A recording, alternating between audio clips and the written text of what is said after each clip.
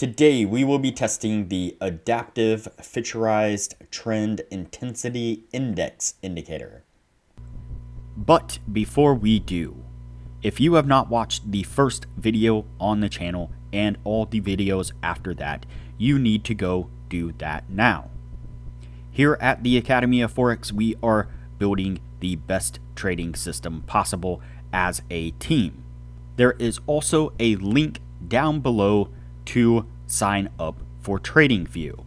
You can save a little bit of money if you use the link below to sign up for your account. You can also find a link below to join us on Discord. Lastly, if you would like a list of all the indicators we have tested along with their win rates, but you aren't interested in watching all the videos on the channel, you can sign up for our $9 Patreon, and you will receive the complete list of indicators. We also would like to introduce our Patreon exclusive Discord channel. As a $9 Patreon, you will be invited to join an exclusive Discord channel where we will give you a list of winning indicators and links for the MT platform, give you winning strategies, post trade ideas, give advanced advice, and much more.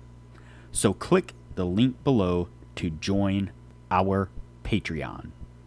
All right, as I said today, we will be testing the Adaptive Fisherized Trend Intensity Index indicator.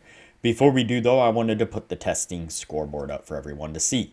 So to date, we have tested a total of 61 different strategies with 16 of them being profitable. We've also tested a total of 794 indicators with 324 of them being winners. The best ones so far were able to achieve a 100% win rate. Now you need to go back and watch those videos to understand the context of how they were able to achieve that. So go back and watch those videos and see what you can get out of those winning indicators.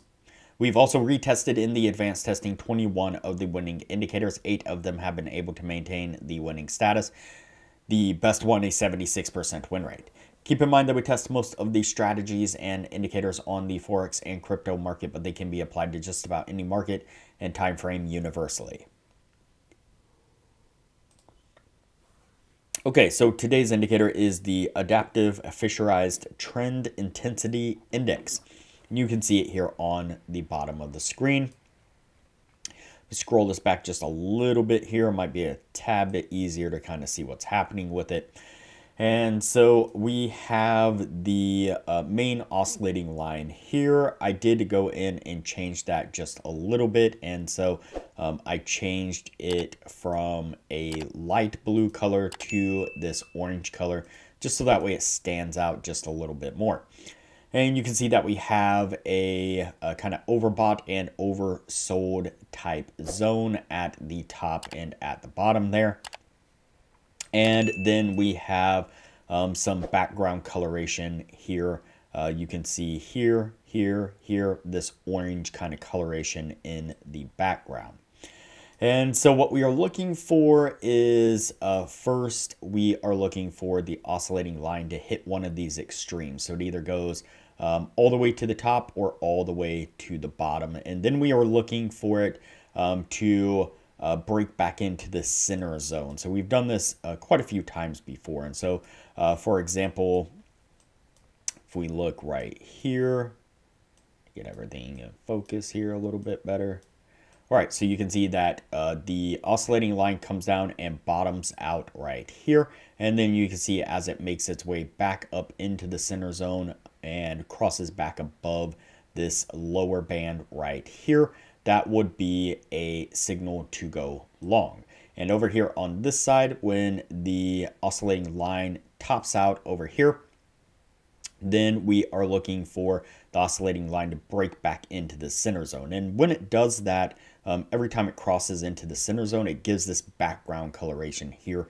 So we can easily see when it actually makes that cross um, back into the center, then that would be a short right there. So that's what it is that we are looking for, and that's how we're going to test it.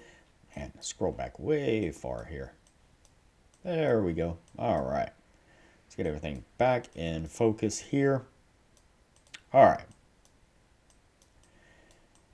There we go. Let's go ahead and get on with the testing and see what we can get out of it.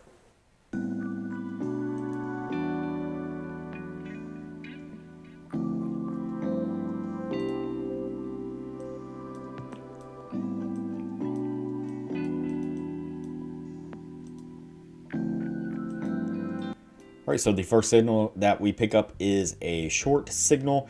Uh, you can see that we get uh, the oscillating line is kind of topped out here in the green area, and then it breaks back down into this middle section here, right here on this candle. Uh, looks like we get pretty much an immediate bounce to the upside there. Uh, does look like that has stopped us out. Let me just check our stop and take profit. There it is. Um, no, we might not have gotten stopped out yet. So there to there. Nope, still within our stop. Let's go ahead and keep playing it forward here a little bit. And it looks like we start to make our way to the downside there. And that is enough to come down and get us to our take profit. Let's go ahead and continue on.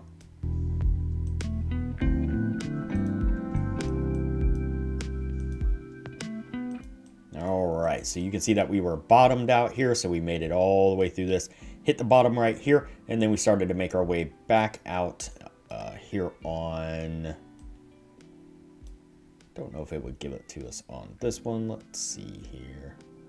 Eh, for the sake of it, let's just call it good on this one. And we were able to avoid our stop. We made a nice push to the upside. And that one does get us to our take profit as well. Uh, let's see. So what I'm going to do now is go ahead and fast forward through the rest of the testing. That way things don't get too long. And we'll pick this up when we are at the end of the year.